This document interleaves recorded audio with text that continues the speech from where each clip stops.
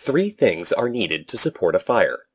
A source of fuel, for example, flammable gas or vapor, air, oxygen, and a source of ignition, for example, a spark, open flame, or high temperature surface.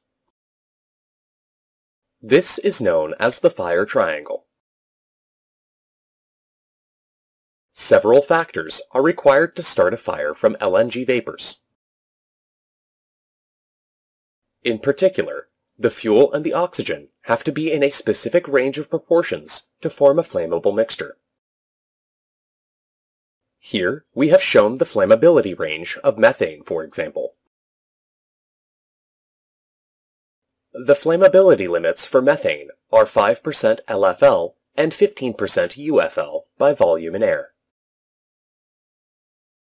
This flammable range is the range of a concentration of a gas or vapor that will burn if an ignition source is introduced. The limits are commonly called the lower flammable limit, LFL, and the upper flammable limit, UFL. Outside of this range, the methane-air mixture is not flammable.